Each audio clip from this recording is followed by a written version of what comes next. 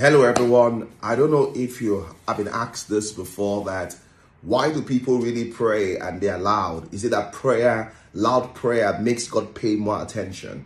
Today, I want to answer the question why is it essential for prayers to be loud? Why are you loud in prayer? First of all, the Bible does not really specify the tone in which we should pray. It doesn't really specify the tone in which we should pray uh, what we have the impression that Jesus Christ prayed loud enough for his prayers to be recorded. But what about me? What happens when I pray? This is why sometimes when I pray, it tends to be loud. It's I never intend and say, "Oh, I'm going to be very loud in prayer today." But this what happens as you stay in the presence of the Lord and you're overwhelmed with the power of the Holy Spirit and the, you're overwhelmed with the glory of God. There is an intensity. It's a it is an intensity from the inside that bores.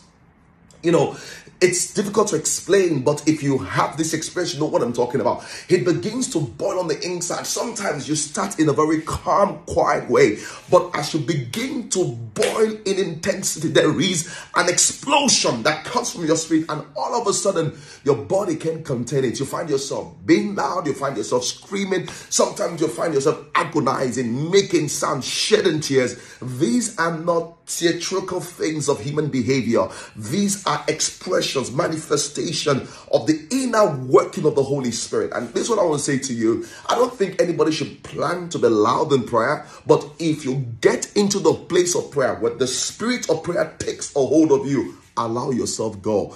Because it's going to take you into deeper place. It's going to plunge you into deeper spiritual dimension depth and realm that will literally change you forever. I really think that many people's prayer life have lost the passion have lost the zeal has lost the drive. And the reason why is that there's resistance there's a pushback that they have. But the spirit of god is calling us today to a place where it will allow us go. Listen to me Jesus Christ said to the disciples, He said, Can't you watch with me in prayer for just one hour? There's just something about pressing in there, just pressing it there.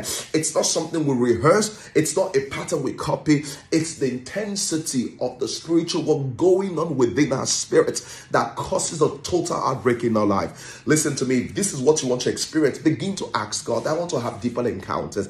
I want the spirit of prayer to take a hold of me. I want the spirit of prayer to take hold of me. I want to have encounters in a deeper dimension in and through prayer. And I'm very sure that before long that the Lord will do it for you. I want to ask you something. Join us to pray every day, Monday to Friday. If this blessed you, tag someone, share with someone, drop a comment behind, share your experience with me. I would love to hear from you.